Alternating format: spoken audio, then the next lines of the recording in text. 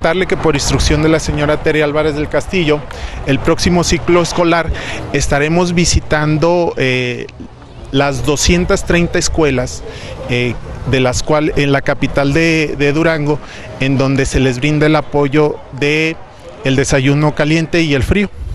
Eh, en ese sentido vamos a, llevar una campaña informativa para que los padres de familia sepan exactamente cuánto van a pagar.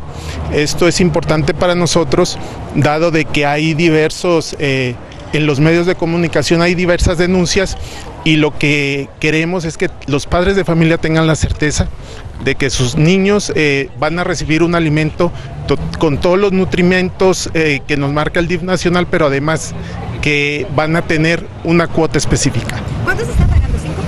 5 pesos, varía de 5 a 7 pesos. Eh, aquí comentarle que eh, este precio se rige a través del Comité de Padres de Familia. Cuando una escuela se, es acreedora a este programa, de beneficio totalmente social eh, se lleva a cabo mediante la conformación de padres de familia. ¿Por qué?